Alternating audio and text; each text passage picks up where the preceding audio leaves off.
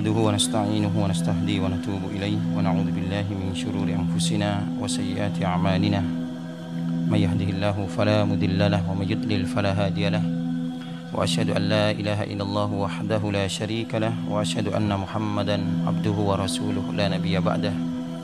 اللهم صل وسلم على نبينا محمد وعلى آله وصحبه ومن تبعهم بإحسان إلى يوم الدين. Rabbi israh li sadri wa yassir li amri wa hlul 'uqdatam min lisani yafqahu qawli. Amma ba'du. Fa ya ayyuhal ikhwa al ahibba rahimani wa rahimakumullah taala. Alhamdulillah insyaallah pada pagi yang berbahagia ini di hari yang mulia ini kita melanjutkan serial daripada kisah-kisah yang Allah Ta'ala sebutkan dalam Quran dan kita masih berada pada surat Al-Kahfi di antara ada beberapa kisah yang Allah Taala kisahkan dalam surah Al-Kahfi. yakni di antaranya ini kisah Dzulqarnain, kisah tentang Dzulqarnain. Subhanallah. Dzulqarnain maknanya pemilik dua tanduk. Du pemilik Al-Qarnain dua tanduk. Ya. Disebut Dzulqarnain. Ada yang mengatakan karena di kepalanya ada seolah-olah dua tanduk. Ya, dan juga ada yang mengatakan Dzulqarnain ini memiliki dua kepang rambut di kepalanya, seolah-olah mirip ya tanduk. Subhanallah.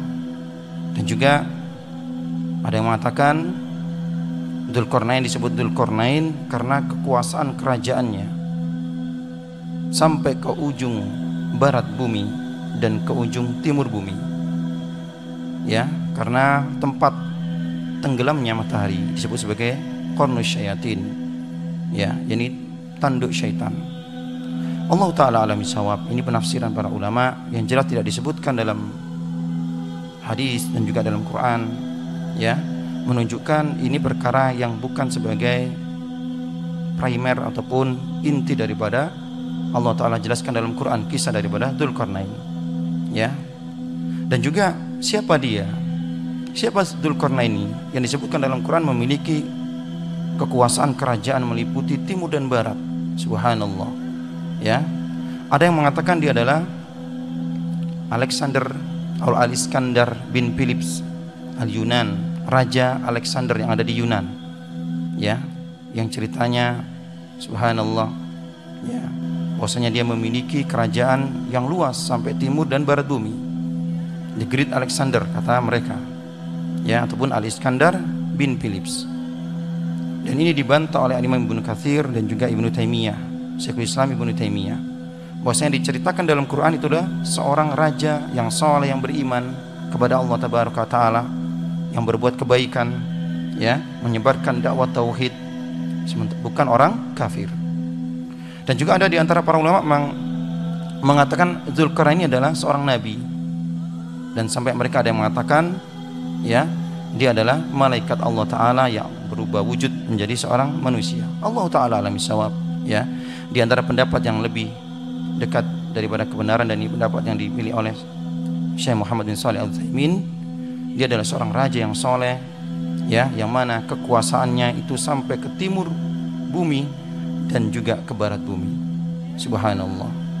Nah, kisah tentang Zulkarnain Allah Ta'ala kisahkan di surah Al-Kahfi pada ayat ke-82 pada ayat ke-82.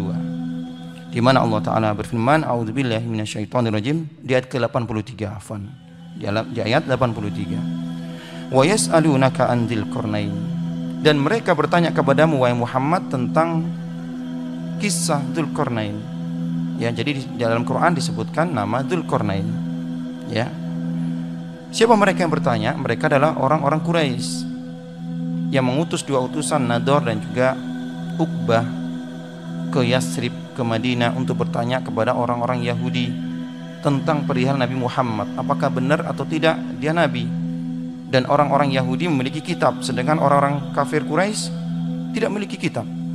Ya mereka tahu bahwasanya orang Yahudi memiliki kitab memiliki ilmu. Maka mereka mengutus dua orang ini bertanya kepada pemuka-pemuka Yahudi, pendeta-pendeta mereka yang ada di Madinah tentang perihal Nabi kita Muhammad sallallahu alaihi wasallam. Maka orang Yahudi tersebut menyarankan untuk menanyakan tiga perkara.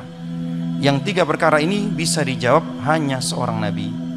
Saluhum anin fityah dahabu fid dahril awal. Yang pertama, tanya kepada Muhammad kalau dia memang kalau dia memang nabi. Tanya yang pertama, ini sekelompok pemuda yang pergi di awal masa ataupun di pagi hari yang memiliki kisah yang menakjubkan yakni mereka ashabul kahfi. Yang kedua, saluhu anir rajulin tawafin balago masrikal ardi masrikal ardi wa maghribiha wa maghribiha. Tanyakan kepadanya seorang laki-laki yang tawaf, yang mengelilingi dunia. Ya, sampai ke timur bumi dan ke barat bumi. Subhanallah, dia adalah Dzulqarnain. Yang ketiga ini tanyalah tentang ruh. Ya, Subhanallah dan ayat ini menjawab pertanyaan-pertanyaan mereka. Jadi Allah katakan wa yas'alunaka an Dzulqarnain. Mereka bertanya kepada Muhammad tentang Dzulqarnain. Kul katakan saat lu alaikum minhu dzikra.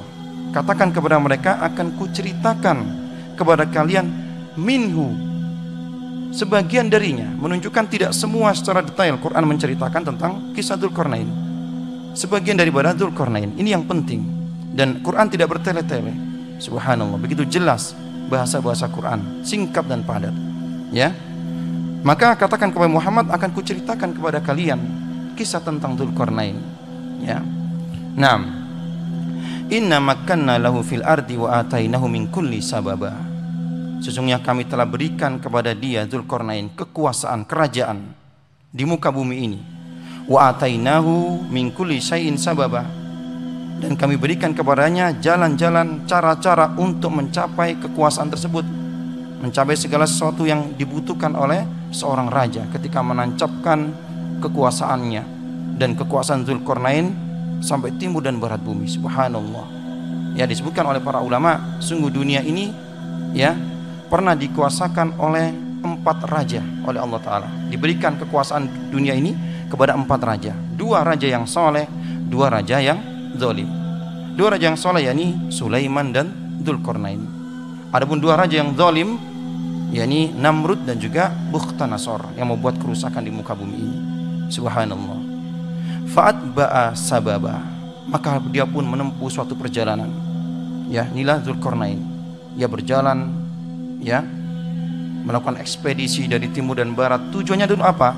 Untuk menegakkan tauhid ya untuk menyebarkan tauhid menaklukkan negeri-negeri agar tunduk kepada Allah tabaraka wa taala subhanallah hatta idza balagha maghrib syamsi. Jadi dia pun melakukan perjalanan ke arah barat bumi ya ke ujung dunia. Sampai ketika dia hingga dia uh, ke, hingga dia telah sampai ke tempat ya balagha maghrib syamsi ke tempat di mana matahari itu terbenam ya maghrib. Ya, maghrib ini menunjukkan bahwasanya tempat terbenamnya matahari ya wajadaha tagrubu fi ainin hamiatin wa wajada indaha qauman. Ya ketika Zulkarnain ini melakukan perjalanan dengan pasukannya tentunya melakukan negeri-negeri agar tunduk kepada Allah taala sampailah dia di ujung dunia di barat bumi di tempat di mana dia bisa melihat secara langsung karena tidak ada yang menghalanginya matahari tenggelam. Ya dan dia melihat matahari terbenam atau tenggelam di lautan yang berlumpur hitam ya maksudnya ketika kita berada di ujung pantai samudera dan matahari tenggelam ya lautan menjadi seolah-olah hitam seolah-olah itu ada lumpur ya. Enam wajada indah qauman maka Zulkarnain mendapatkan di tempat tersebut di ujung barat bumi suatu kaum ya yang mereka ya kufur kepada Allah Ta'ala. Kulna maka kami katakan kepada Dzulkarnain inilah menjadi dalil di antara para ulama yang mengatakan bahwasanya Dzulkarnain adalah nabi. Ketika Allah katakan kulna kami katakan kepadanya ya Dzulkarnain wahai Dzulkarnain imma an nu'adziba wa imma an tattakhidha fihim husna. Ya wahai Dzulkarnain silakan. Kamu boleh mengadab mereka orang-orang yang kufur ini yang berbuat kemungkaran menyiksa mereka atau membunuh mereka atau engkau berbuat kebaikan kepada mereka yakni membiarkan mereka. Ya subhanallah. Qala maka Dzulkarnain pun mengatakan ya inilah menjadi dalil para ulama dialog ya Dzulkarnain dengan Allah tabaraka taala. Ya. Dan pendapat yang lebih kuat yakni dia adalah seorang rajulin soleh ya seorang raja yang soleh bukan nabi. Qala maka dia pun mengatakan amma man dolama fasaufa nu'adzibuhu. Adapun mereka orang-orang yang dolim ya kaum yang dolim yang berada di ujung barat dari barat bumi yang ditemui oleh Dzulkarnain adapun mereka yang dolim tetap terhadap kekufuran fasaufa nu'adzibuhu kami akan adab mereka, kami akan siksa mereka. Maksudnya akan dibunuh. Summa yuraddu ila. Kemudian nanti dia akan dikembalikan kepada Rabbnya ketika dia mati, ya. Fayu'adzibuhu adaban nukra. Yang mana Rabbnya akan mengadab mereka di akhirat. Subhanallah. Dengan adab yang begitu dahsyat.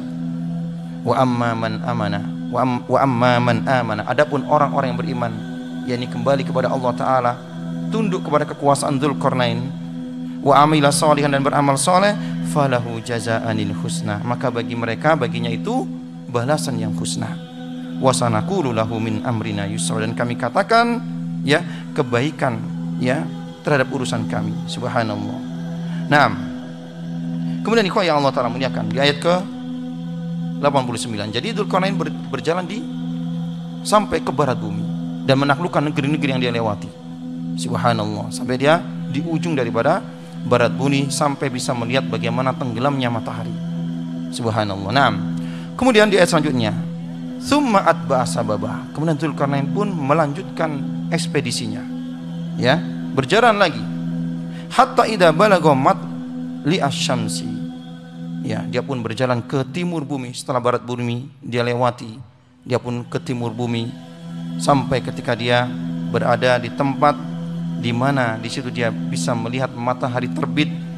Ya tempat di mana matahari terbit wajadaha tatlu'u ala qaumin lam naj'al lahum min duniha sitra.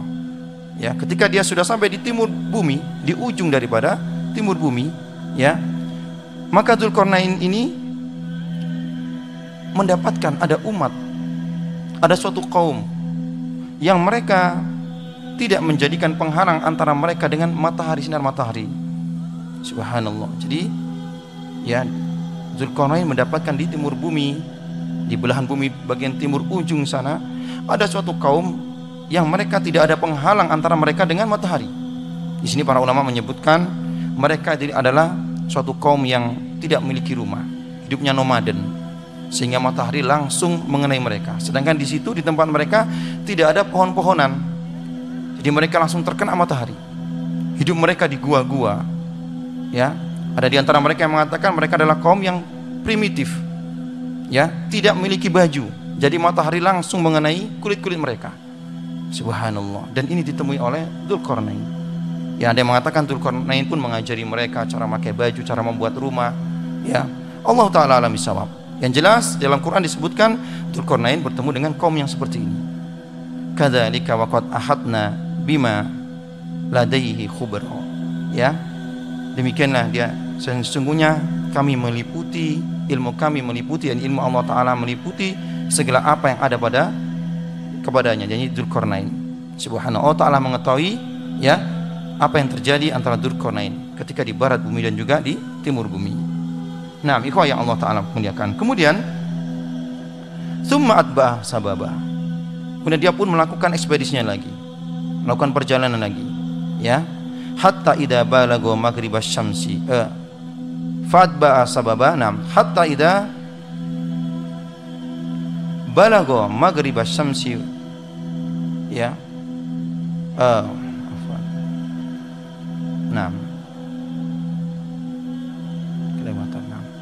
summa atba sababa hatta idza balago baina saddaini. Ya, kemudian dia pun melakukan melanjutkan perjalanannya. Ya, sampai ketika dia di, berada di tempat ya yang dikelilingi di antara dua gunung Sadda ini yang disebutkan para ulama yakni Jabala ini ya hatta ya ida balagha baina ini ya. Hingga apabila sampai di antara dua gunung gunung, gunung ataupun bukit. Ya. Wajada min dunihi qauman. Dia mendapatkan di antara dua gunung ini ada suatu kaum. Subhanallah. La yakaduna yafqahuna qawla. Kaum yang mereka itu ya tidak mengerti atau tidak bisa dipahami bahasa mereka. Ya. Disebutkan bahwasanya karena dia kaum yang jauh daripada manusia bahasa mereka itu bahasa yang aneh tidak dipahami oleh Dzulkarnain eh, tidak dipahami oleh manusia. Ya tapi Allah taala berikan kepada Dzulkarnain kemampuan dia bisa memahami bahasa mereka. Ada yang mengatakan di antara mereka orang yang tidak bisa dipahami bahasanya ini ada satu orang yang pandai berbicara subhanallah sehingga bisa berdialog dengan Dzulkarnain nah kemudian iko yang Allah taala muliakan ya mereka pun berkata dan Dzulkarnain pun menaklukkan mereka dan mereka tunduk kepada Dzulkarnain. Qalu mereka mengatakan ya dal qarnain ya dal qarnain wahai dzul qarnain inna ya'juj wa ma'juj mufsiduna fil ard. Sesungguhnya Ya'juj dan Ma'juj ya mereka berbuat kerusakan di muka bumi ini. Subhanallah. Di sini disebutkan sehingga dalam bentuk ismul fa'il mufsidun. Ya di sini menunjukkan bisa jadi mereka dulu pernah bertemu dengan Ya'juj dan Ma'juj dan mereka mengetahui kerusakan mereka berbuat kerusakan. Bisa jadi mereka mengetahui kabar tentang Ya'juj dan Ma'juj. Ya. Jadi mereka pun melapor kepada Dzulkarnain kaum ini. Ya. Yang mereka disebutkan dalam Quran mereka kurang pandai dalam berbahasa. Bahasa mereka tidak diketahui ya tidak dipahami. Subhanallah. Mereka mengadukan perihal Ya'juj dan Ma'juj kepada Dzulkarnain ya Dzulkarnain inna Ya'juj wa Ma'juj mufsiduna fil ard. Wahai Dzulkarnain sungguh Ya'juj dan Ma'juj ini berbuat kerusakan di muka bumi ini. Fahal naj'alu laka kharjan? Ala anta ja'ala bainana wa bainahum sadda. Ya apakah kami harus menyiapkan ataupun apakah kami akan memberikan upah kepadamu supaya engkau bisa membuat antara kami dengan mereka saddan? Ini pemisah dinding pemisah jadi mereka minta kepada Dzulkarnain untuk dibuatkan pagar dinding pemisah antara Ya'juj dan Ma'juj dengan mereka. Mereka mengetahui bagaimana ya dahsyatnya Ya'juj dan Ma'juj keberingasan mereka. Subhanallah. Yang mana ketika Ya'juj dan Ma'juj ini keluar akan menghancurkan semua yang ada. Baik harta ataupun naslah baik tanam-tanaman ataupun ya keturunan. Subhanallah. Nah dan ini para ulama menunjukkan sopannya bahasa mereka. Ya, diambil daripada kisah ini hendaknya rakyat itu berbicara dengan pemimpin itu dengan bahasa-bahasa yang sopan. Subhanallah. Nah maka berkata Zulkarnain ketika rakyatnya ataupun ya kaum ini mengadukan daripada permasalahan mereka mereka takut diserang oleh Ya'juj dan Ma'juj mereka minta agar dibuatkan benteng ya dinding pemisah antara mereka dengan Ya'juj dan Ma'juj ya dan mereka mengatakan apakah kami akan memberikan upah kepadamu wahai Dzulkarnain agar engkau membuatkan kepada kami benteng ya pagar ataupun dinding pemisah antara kami dengan Ya'juj dan Ma'juj maka berkata Dzulkarnain qala ma makkanni fihi rabbi khairun. Sungguh apa-apa yang dikuasakan oleh Rabbku kepadaku yakni Allah Ta'ala berikan kepadanya kekuasaan kerajaan segala sesuatu ya diberikan kepada Dzulkarnain sungguh apa yang diberikan oleh Allah Ta'ala kepadaku khairun lebih baik. Ya jadi Dzulkarnain tidak menerima upah ya ini menunjukkan bahwasanya para penguasa ketika mereka tidak membutuhkan maka hendaknya tidak mengambil ya upah daripada rakyatnya subhanallah Qala ma makanni fihi rabbi khairun fa'inuni biquwwatin. Akan tapi bantu aku kata Zulkarnain dengan kekuatan, yakni kekuatan manusia, pekerja dan juga alat-alat ya. Aja'al bainakum wa bainahum radma. Akan akan kubuatkan ya antara kalian dengan Yajud dan Majud dinding pemisah radma ya. Naam. Kemudian Atuni zubral hadid, berikan kepadaku potongan-potongan bersih. Subhanallah. Mulailah Dzulkarnain ya membuat dinding pemisah antara mereka kaumnya dengan Ya'juj dan Ma'juj. Ya, Dzulkarnain mengatakan atuni zubral hadid, berikan aku potongan-potongan besi. Dan ini menunjukkan bagaimana Dzulkarnain ikut turun masuk bekerja di lapangan. Ya. Dia perintahkan berikan potongan-potongan bersih dibantu dengan kaum ini. Ya, hatta idza sawa baina sadafaini qala unfuhu ya sampai potongan-potongan besi ini pun disusun sampai hingga potongan besi ini sama dengan tingginya dengan dua gunung tadi. Subhanallah menunjukkan bagaimana ya tingginya besi tersebut.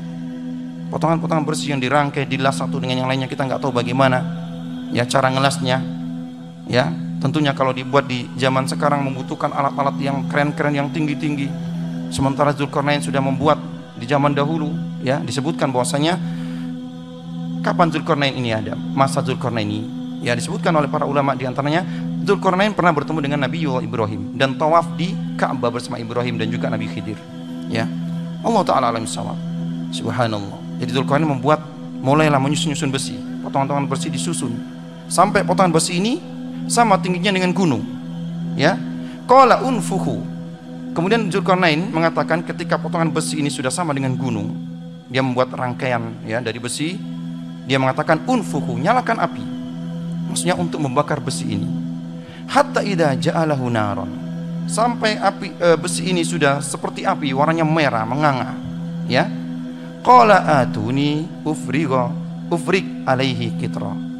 Ya berikan aku tembaga cairan tembaga yang akan kutuangkan ke rangkaian daripada besi ini. Subhanallah. Ya? Berarti rangkaian besi ini dicor dengan tembaga yang sudah dilelehkan. Ya? Dan perpaduan antara besi dengan tembaga ini menghasilkan ya bahan yang kuat yang tidak bisa, yang tidak mudah untuk ditembus. Subhanallah, ya. Naam. Hatta idza naran. Jadi jadi subhanallah menunjukkan bagaimana hebatnya ya kebudayaan waktu itu. Zulkarnain bisa membuat pagar dinding dari besi yang tinggi. Kita tidak tahu bagaimana tingginya gunung tersebut, mungkin bisa kilometeran. Subhanallah. Ya dan dicor dengan tembaga yang dilelehkan maka menyatulah antara besi yang dipanaskan dengan tembaga yang dilelehkan. Inilah pagar yang dibuat oleh Zulkarnain untuk membatasi agar Ya'jud dan Ma'jud tidak menembusnya, tidak berbuat kerusakan di muka bumi ini. Subhanallah. Famasta'u berkata Zulkarnain, mereka tidak akan sanggup an yadharuhu untuk menaiki untuk menembus dinding tersebut an yadharuhu dari atas melewatinya dari atas karena tingginya di dinding tersebut wa mastata'u lahu dan mereka pun tidak sanggup untuk melubanginya. Ya, di sini disebutkan wa masta'u dan yang kedua wa mastata'u. Ya, sama-sama tidak sanggup. Bedanya yang kedua menunjukkan pekerjaan yang banyak. Jadi mereka berubah, berusaha untuk melubanginya ketika mereka tidak sanggup melewatinya dari atas, mereka berupaya untuk melubangi dinding yang dibuat oleh Dzulkarnain tersebut. Subhanallah. Ya. Naam, ikhwah ya Allah taala muliakan dan Yajud dan Majud setiap hari berupaya untuk melubanginya. Ya. Nabi kita sallallahu alaihi wasallam pernah kaget dan beliau langsung mengatakan la ilaha illallah. Ya. Wailun Arab min sarrin qad Celaka orang-orang Arab. Ya, sungguh kejahatan sudah mulai dekat. Futihal yauma min rotmil ya'juj wa ma'jud mislu hada sekarang sudah terbuka benteng ataupun dinding yang menghalangi Ya'juj dan, dan Ma'juj seperti ini. Rasulullah menyatukan antara ya jari-jarinya dengan seperti ini, membuat seperti ini, ibu jari dengan jari telunjuk. Maka dikatakan kepada beliau, "Ya Rasulullah, apakah nanti akan ada kerusakan walaupun di sana masih ada orang-orang soleh?" Maka Rasulullah katakan, "Iya." Ya, ketika banyak ya al-khabas, yakni perbuatan-perbuatan maksiat yang keji Subhanallah. Nah, kemudian qala Zulkarnain pun mengatakan, "Hada rahmatun mir rabbi." Ini merupakan rahmat dari Rabbku. Ini ini ada yang mengatakan dinding ini yang dibuat oleh Zulkarnain itu merupakan rahmat dari Rabbku dan Zulkarnain menyandarkan kepada Allah taala. Dia tidak mengatakan ini karena kehebatanku, ini karena keahlianku, ilmuku tidak. Tapi Zulkarnain mengatakan, "Hada min rahmatur rabbi." Hada qala hada rahmatun min rabbi. Ini merupakan rahmat dari Rabbku. Fa idza jaa wa'du rabbi ja'alahu dakka. Dia tidak akan sanggup dijebol oleh Ya'juj dan Ma'juj kecuali nanti ya datang daripada ya, kecuali apa-apa yang sudah Allah taala janjikan. Yakni hari kiamat Allah taala buat dinding ini akan hancur. Subhanallah. Ya dan ini akan hancur. Subhanallah. Ya dan kita beriman akan adanya dinding ini. Dan kita beriman akan adanya Ya'juj dan Ma'juj disebutkan dalam hadis bahwasanya mereka setiap hari berupaya untuk melubangi dinding ini. Ya sampai ketika hampir-hampir mereka melihat cahaya menunjukkan bahwasanya mereka terkurung di tempat yang tidak terkena cahaya. Ya setiap hari mereka melubangi. Sampai ketika mereka hampir melihat cahaya yang menunjukkan bahwasanya dinding ini akan hancur ya pemimpin mereka mengatakan kita kembali. Kita akan lanjutkan besok. Ya ketika mereka kembali dinding ini pun kembali seperti semula dan lebih kuat lagi. Sampai di waktu di mana Allah taala tentukan ya ketika pemimpin mereka mengatakan kita kembali insya Allah kita akan lanjutkan besok. Ya maka lubang yang mereka sudah lubangi dan hampir mereka melihat cahaya ya cahaya matahari maksudnya itu tidak menutup kembali seperti itu. Akhirnya besoknya mereka bisa melubangi dan mereka keluar. Dan mereka keluar bagikan air bak yang begitu banyaknya mereka. Perbandingan mereka dengan kita ya. Perbandingan kita dengan mereka satu dibanding 999 subhanallah ya. Dan ikhwah Allah taala muliakan. Dan kita beriman dengan Ya'juj dan Ma'juj ya. Dan kita tidak tahu di mana tempatnya. Nggak usah dicari di Google Map ya. Dan semoga Allah taala tidak pertemukan kita, kita dengan Ya'juj dan Ma'juj karena dia keluar ya berbuat kerusakan membunuh semua yang ada. Menghancurkan semua yang dia lewati. Ya ada Buhairah Tobaria danau Tobaria ya yang daunnya banyak yang airnya banyak sekali danau tersebut. Bisa untuk menyaplai jutaan manusia setiap harinya. Ya ketika lewat pasukan Ya'juj dan Ma'juj ini yang mana Ya'juj dan Ma'juj ini merupakan keturunan daripada Nuh. Dari anaknya namanya Yafith jadi Nuh itu memiliki tiga anak Syam ini keturunan bangsa Arab dan juga bangsa Romawi ya kemudian uh, Sam Ham ini merupakan keturunan orang-orang hitam dan Yafis. Ini keturunan bangsa Turk. Di antaranya ini nenek moyang dari barat Yajud dan Majud. Subhanallah dan bukan ya manusia-manusia aneh yang digambarkan atau yang digambarkan oleh manusia tidak. Dia adalah keturunan dari barat Nuh alaihissalam dari anak-anak namanya Yafis. Nah, mikho yang Allah taala muliakan ya. Jadi kita akhiri ya kisah tentang Zulkarnain yang memang sedikit Allah taala sebutkan dalam Quran ya ini menunjukkan Allah telah sebutkan yang penting-penting saja. Nah, jadi faida jaa wa'du rabbi dakka. Ketika datang janji Tuhanku yakni ketika nanti menjelang hari kiamat, ketika turun Nabi Isa, ketika membunuh Dajjal, keluarlah Ya'juj dan Ma'juj. Kami jadikan benteng ini hancur dan mereka bisa keluar, ya. Wa kana wa'du rabbi haqqo dan sungguh janji dari aku ini benar. Wa tarakna ba'dahum yauma idin yamuju fi ba'din. Dan kami jadikan antara satu dengan yang lainnya, antara manusia dengan Ya'juj dan Ma'juj ini mereka bercampur ya. Subhanallah. Wa nufikha fis suri fajama'nahum jam'a. Ya. Dan mereka bercampur ketika di hari kiamat. Manusia pun berlari daripada Ya'juj dan Ma'juj karena mereka adalah pasukan yang tidak sanggup dikalahkan dan tidak bisa dikalahkan. Allah taala wahyukan kepada Nabi Isa ya untuk membawa orang-orang beriman ke Bukit Tur. Dan Nabi Isa pun berdoa kepada Allah taala ketika mereka Ya'juj dan Ma'juj memerangi manusia di muka bumi dan mereka mengarahkan panah-panah mereka ke arah langit sehingga turun panah-panah mereka anak panah mereka itu berlumuran darah. Ini merupakan istidrat bagi Allah Ta'ala. Mereka pun semakin sombong. Kami telah kita telah mengalahkan penduduk bumi dan juga kita telah mengalahkan penduduk langit. Maka Allah Ta'ala kirim kepada mereka ulat-ulat kepada Ya'jud dan Majud yang menggerogoti leher-leher mereka. Akhirnya jadilah mereka bangkai-bangkai Nabi Isa pun berdoa kepada Allah Ta'ala untuk menyelesaikan bangkai-bangkai daripada Ya'jud dan Majud ini maka Allah Ta'ala ya kirim burung-burung yang lehernya seperti leher onta untuk ya membuang bangkai-bangkai daripada Ya'juj dan Ma'juj. Nanti kisah ini yakni ya kisah ketika ya menjelang hari kiamat di antara tanda-tanda hari kiamat Allah taala alam sawab. Subhanakallahumma bihamdik asyhadu an la ilaha illa anta astaghfiruka wa atubu ilaik. Assalamualaikum warahmatullahi wabarakatuh.